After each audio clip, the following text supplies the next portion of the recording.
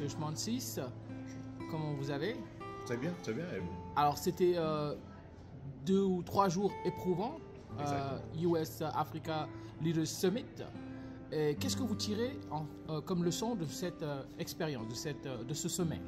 Bon, on est ravis d'accueillir les dirigeants, les chefs d'État, les hauts responsables euh, africains ici à Washington pendant euh, cette semaine, pendant ce sommet de trois jours. Euh, L'importance euh, de ce sommet euh, se voit par la participation du président américain deux fois, par la participa- participation du vice-président, secrétaire d'État, etc., aux responsables américains. On met beaucoup d'emphase sur, sur ce sommet. on l'a planifié depuis longtemps. Pour nous, l'important, c'est d'approfondir euh, nos relations avec les pays africains pour euh, amplifier les, euh, les voix africaines dans leurs, propres, dans leurs propres affaires et dans les affaires internationales aussi. Et aussi pour mobiliser la totalité du gouvernement américain, aussi le secteur privé et la société civile pour faire face aux défis mondiaux et aux défis africains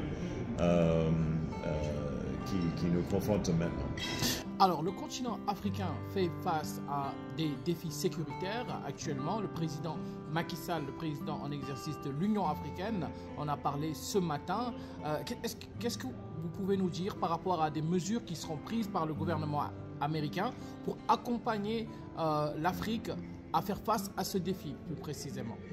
Euh, ce qui est très encourageant, euh, c'est que pour chaque euh, défi sécuritaire, pour chaque problème sur le continent, il y a un effort africain à le, résoudre. Et les États-Unis préfèrent travailler au travers nos partenaires africains. Ça comprend aussi les institutions régionales, les organisations internationales. Vous connaissez le terrain, vous connaissez les, problèmes que, vous confrontez euh, euh, mieux que nous. Et nous sommes là pour apprendre de vous et euh, offrir un partenariat avec vous, quoi que ce soit militaire, euh, économique, euh, euh, promouvoir la bonne gouvernance, etc. etc. Alors, durant ce sommet, il y a eu une rencontre entre l'administration américaine et la jeunesse africaine. Cette jeunesse qui est dite qui sera l'une euh, des plus denses populations dans le monde, euh, selon euh, Anthony Blinken, d'ici euh, euh, 30 ans, un- un- une personne sur cinq sera africain. Donc c'est un potentiel énorme. Qu'est-ce que les États-Unis proposent vis-à-vis de cette jeunesse africaine? La jeunesse africaine représente la ressource la plus précieuse euh, de l'Afrique, euh, beaucoup plus que n'importe quel minéral ou ressource naturelle. Euh, la jeunesse va aussi représenter un, un élément clé pour l'économie de l'avenir. Parce que le euh, taux de naissance dans plusieurs pays au monde est en chute. Euh, euh, les jeunes Africains ont une potentialité de transformer leur... Mais il faut la stabilité, il faut la bonne gouvernance, il faut l'éducation, tous les éléments clés de n'importe quelle société. On est optimiste qu'on va trouver la solution. Alors, euh, on a euh, euh, en tout cas énuméré plusieurs propositions et plusieurs promesses d'investissement du gouvernement américain vis-à-vis de l'Afrique. Et euh, un chiffre, par exemple, euh, de 15 milliards a été annoncé, euh, en tout cas globalement pour tous les engagements, que ce soit privé, public.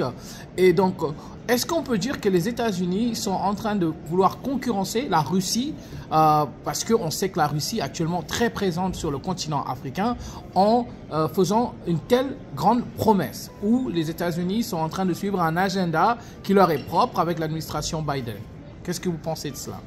En fait, euh, l'enveloppe de fonds euh, est de 55 milliards de dollars euh, pendant trois ans, dédiés aux, ob- aux obje- objectifs que nous tenons en, commun.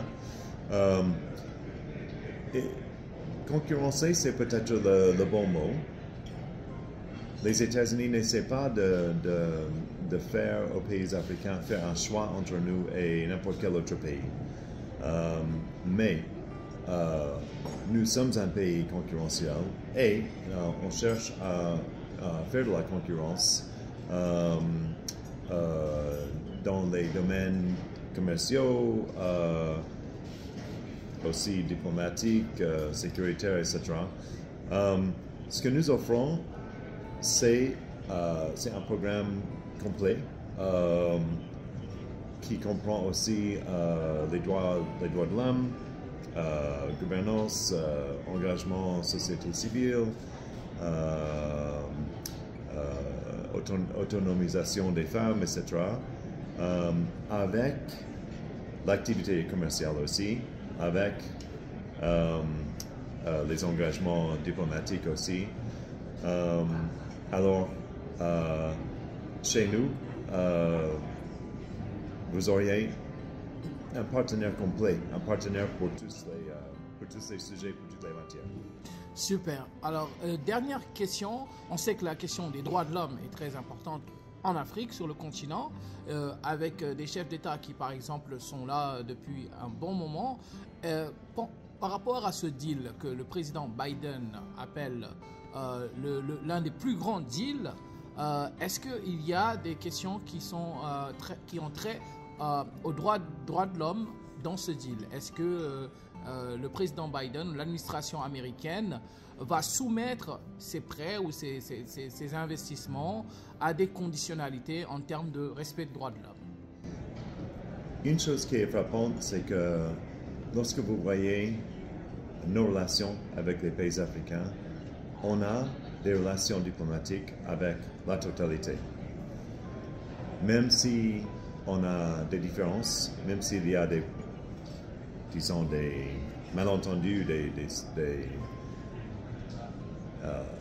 euh, où on n'est pas tout à fait d'accord avec euh, le gouvernement, on est présent.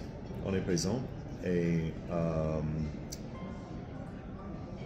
dans chaque ambassade américaine, il y a la section politique qui, analyse, qui traite les, les, les matières droits de l'homme, euh, on parle au niveau d'ambassadeurs, au niveau de, nos diplomates, euh, avec les gouvernements africains à propos de leur situation, droits de l'homme. Il y a le rapport chacun euh, qui sort sur, chaque pays. Alors c'est une, une matière qui,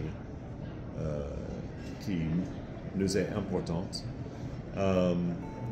mais je crois engagement, c'est la clé